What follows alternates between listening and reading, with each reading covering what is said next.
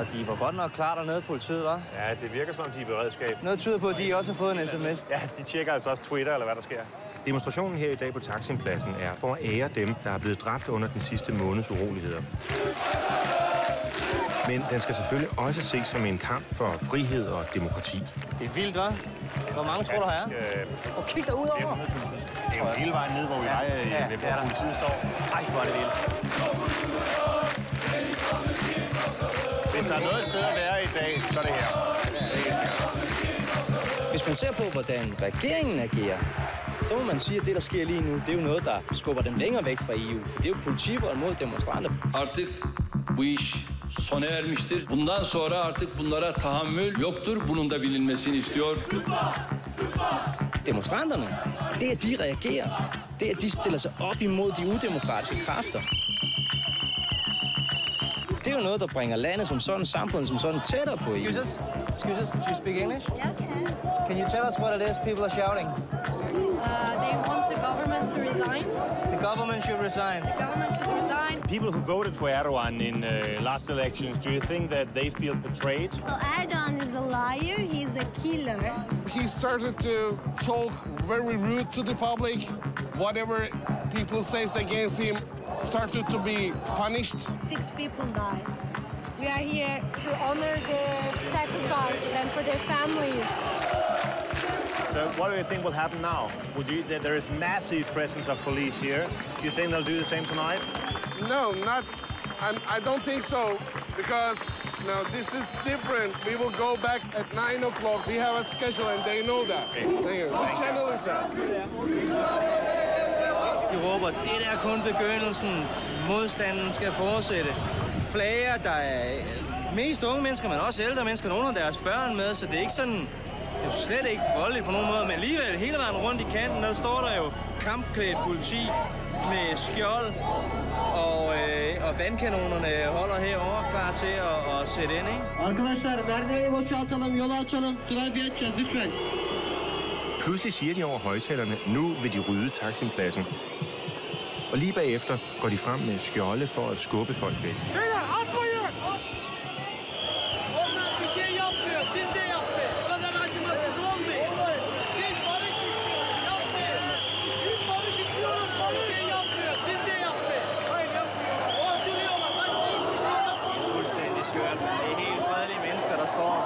står stille og protesterer, og så sætter de ind sådan her.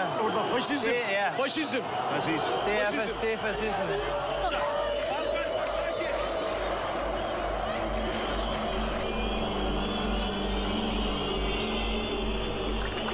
Det, der er det vigtige nu, det er at sende et signal. Ikke til de folk, der står her, men til regeringen. Politifolk her, de er siden i virkeligheden øh, helt uskyldige. Altså, det er jo folk, der er udkommanderet. Og man kan se, når man ser i øjnene på dem, at de ønsker ikke at være. De ved godt, folk giver dem roser, altså folk giver dem blomster. Det er en fredelig demonstration. Men det er en så mærkelig følelse, fordi man kan bare, men jeg, jeg kan se, at de der folk, de ønsker ikke nogen konfrontation.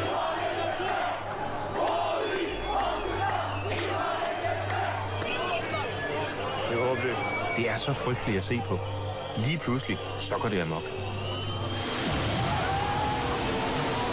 Shit, mand! Det er jo fuldstændig åndssvagt, det her, mand.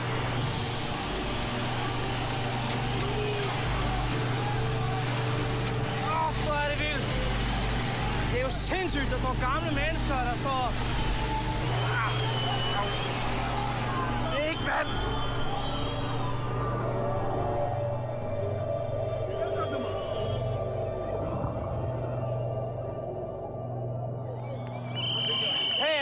Morten? Nej, hey. nej, jeg er ikke vand. Hey, er du okay? Har du vand? Har du vand? Hey, hey, hey, do you have some water? Do you have some water?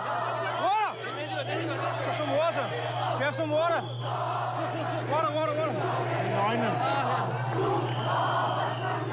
Åbn øjnene, åbn øjnene, Morten.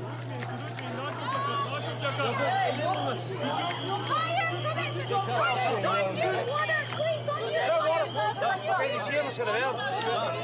Mere vand, mere vand. Nej, de siger lade være med at give vand. De siger lade være. De siger lade være med at give vand. Elini vurma, elini vurma, elini vurma. Fuck, er du okay? Nej, det gør ondt. Og nu vil jeg ikke Ja, sige noget. selvfølgelig, selvfølgelig. Hvad er det her? Jeg kan ikke tage det i øjnene. Jeg ved, jeg, Men jeg, de jeg, siger, jeg, de siger, du skal, det skal, du skal. brænder af helvede til. Like this. To his eyes and use You cannot use lemon in his eyes. You Ja. can, I tried. Okay, Morten, nu sprøjter jeg noget i øjnene på dig, som de siger, man skal. Så åbn dine øjne. Det er citron. Det er syre, fordi det tager det andet. Åbn dine øjne, Morten. Jeg kan ikke åbne det mere nu. Nej, okay. Mens vi forsøger at få de her kemikalier ud af Mortens øjne, så vender vandkanonerne og kommer tilbage. Går du med mig?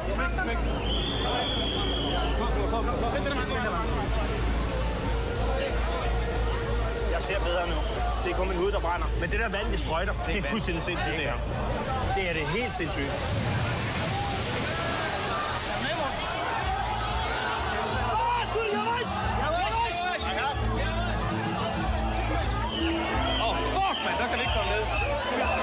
Det er sindssygt. Shit, shit, shit. Væk, væk, væk, væk. Fuck! Det er noget lort, det her, fordi der ryger vi ned. Pas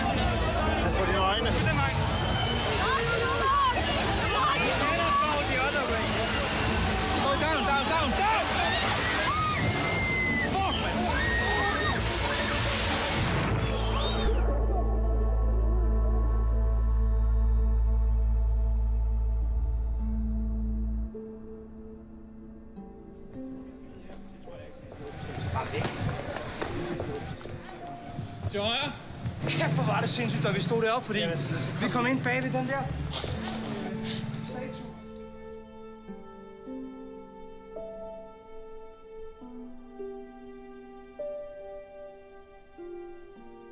Det føles bare, som om der går ild i mit ansigt.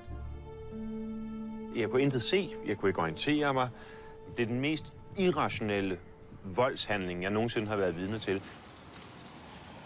Det var sgu en øh, slem omgang. Hvor var det vildt. Ej, for fanden, on. Altså, jeg tror, det var jo en, altså, det var virkelig en voldsom oplevelse for os alle sammen. Det vil jeg godt... Øh... Jeg er stadigvæk helt... Øh... Men, men det der, jeg fik ud over mig, alting brændte. Jeg kunne ikke se ud af øjnene, jeg kunne ikke orientere mig. Jeg var så bange for, at det der kemikalie, jeg havde fået i øjnene, at det også var i vandet, som, øh, som de skød med. Så jeg stod og kiggede ned på et tidspunkt, kunne ikke rigtig bedømme afstanden. Vi var livsfar, hvis vi kunne være blevet spulet over den der kant, ikke? Det slog mig faktisk, jeg, jeg hopper bare, fordi hvis jeg skulle have det der ud over mig en gang til, altså, det kunne umuligt være værre at springe derned. Jeg synes overhovedet ikke, man skal blande det her ind i debatten for og imod tyrkisk medlemskab af EU. Det her det handler om en regering, der anvender fuldstændig unødig politivold imod nogle helt fredelige demonstranter. Og vi er jo så privilegerede, at vi sådan set bare kan tage hjem til Danmark og nyde vores øh, frihedsrettigheder og grundlovssikrede demokrati der. Men hvis man er tyrker og vil kæmpe for demokratiet, så er det altså det her, man er op imod. Det er der slet ingen grund til at sige andet om. Enig.